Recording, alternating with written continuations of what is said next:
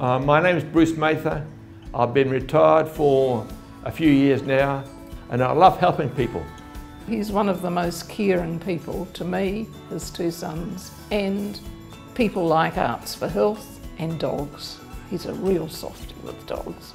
I was a, one of the founder members of the Men's Shed and when we got located over here in, the, in this facility, I made it my business because I like people going around and seeing if there's anything they want done.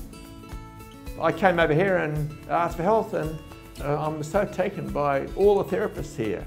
So helpful and they've got all these people's needs at heart. There's, these people here seem to be able to suss it out and know how to put them on a positive road to recovery.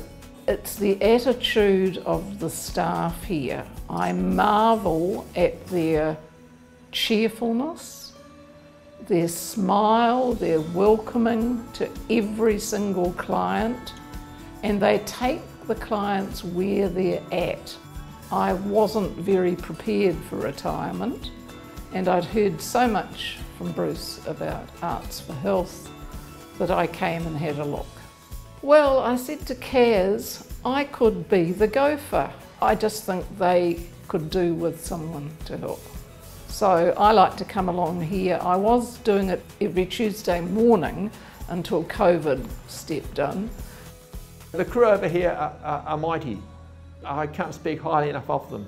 This is a service that uh, to me has got to, got to carry on and it's very important. And if there's anything I can do, I will, I'll go out of my way to encourage either me or someone at the men's shed to get involved and fix it.